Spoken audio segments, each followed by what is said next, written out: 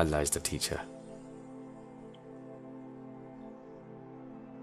And He's teaching us.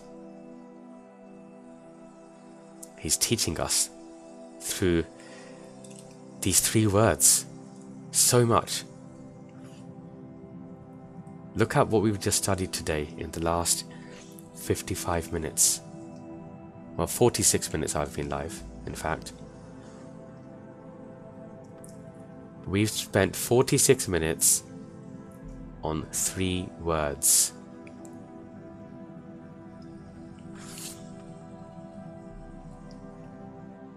So when we hear people say, Oh, I finished the Quran three times this month,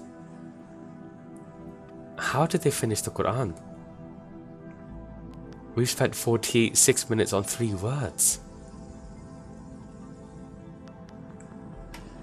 How can you finish the Quran? People celebrate completing the Quran. People celebrate